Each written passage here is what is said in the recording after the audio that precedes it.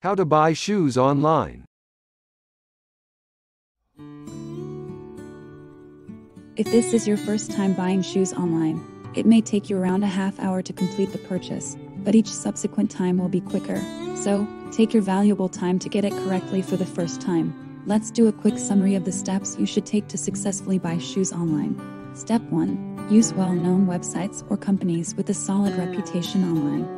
Step 2. Determine your shoe size by measuring your feet. To acquire the proper shoe size, take the measurements of your foot and allow 0.5 to 0.7 inches of wiggle space. Why?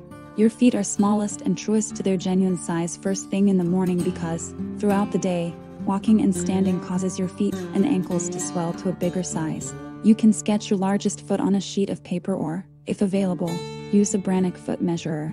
The Brannock device is a measuring instrument invented by Charles Brannock for measuring a person's shoe size.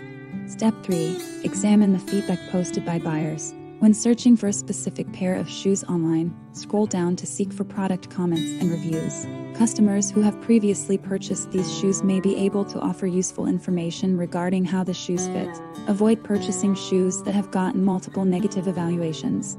Step 4 Make certain that the return shipping is free. Shopping for shoes is always a bit of a gamble, therefore, return policies that are flexible are essential.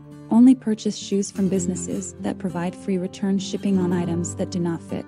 For stress free returns, many businesses will offer you with a prepaid shipping label. A prepaid shipping or mailing label is used for a customer return and helps ensure your product is shipped back to you quickly and correctly. It looks and works like a traditional shipping label, only now the customer is the sender and the merchant is the recipient.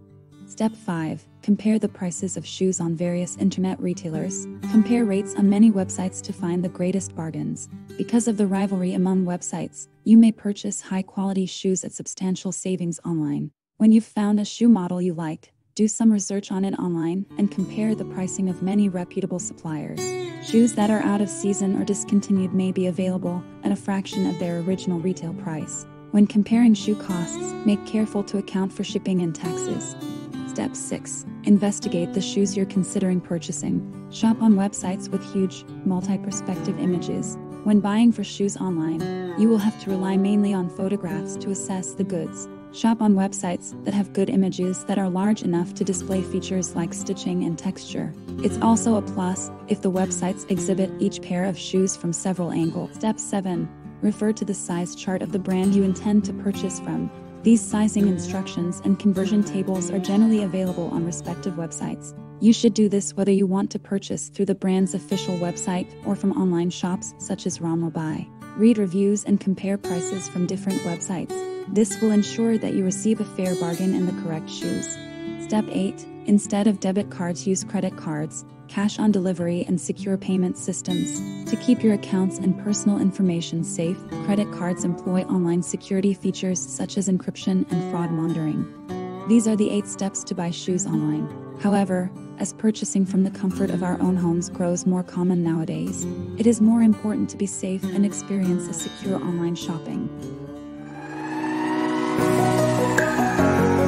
Jangan lupa